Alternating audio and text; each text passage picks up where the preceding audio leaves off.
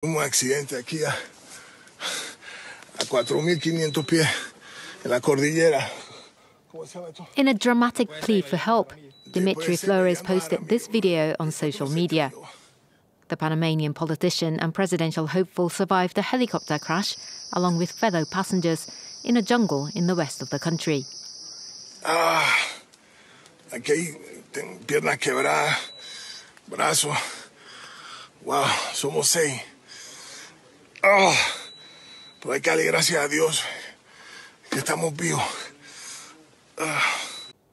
The SOS video sprang Panama's Civil Aviation Authority into action, but it took several hours for rescuers to reach the crash site. By the time they arrived, the victim had posted another video to complain. Ya tenemos cuatro horas y 20 minutos de estar aquí. Estoy muy decepcionado. Tenemos que trabajar mucho por nuestra nación. Mr. Flores is among a number of people seeking to stand in a presidential election in 2024.